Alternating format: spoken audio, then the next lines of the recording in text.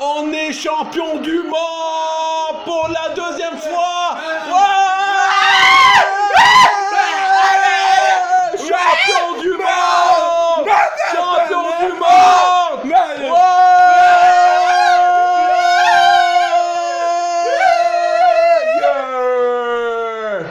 Ouais.